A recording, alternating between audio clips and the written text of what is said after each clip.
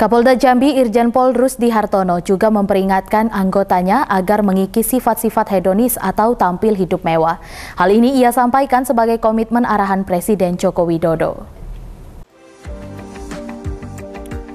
Resmi menjabat sebagai Kapolda Jambi, Irjen Pol Rusdi Hartono berkomitmen menanggapi arahan Presiden Joko Widodo terkait gaya hidup anggota Polri yang mewah.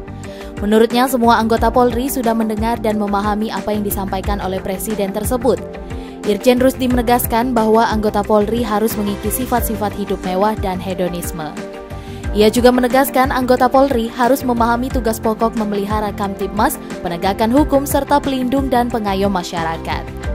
Ia menegaskan akan melakukan tindakan penegakan hukum bagi anggotanya yang bekerja tidak sesuai dengan aturan yang ada di institusi Polri memahami semua dalam situasi situasi kondisi seperti ini kita harus mulai mengikis ya sifat-sifat hedon seperti itu ya, harus sudah dan saya rasa seluruh anggota Polri mendengar itu dan siap melaksanakan apa yang disampaikan oleh Bapak Presiden. Mudah-mudahan ya situasi Polri di Polda Jambi akan semakin baik. Oke. Dimas Sanjaya, Cek TV melaporkan.